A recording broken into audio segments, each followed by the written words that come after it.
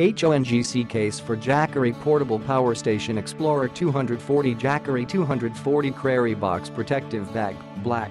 Eco-friendly material, made of high-density EVA and 1680D material, premium hard EVA to provide durability and a long-lasting performance.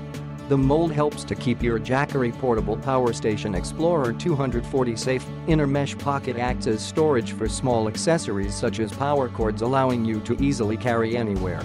The case is shockproof, dustproof and water resistant. Protect your favorite device from bumps, dents and scratches.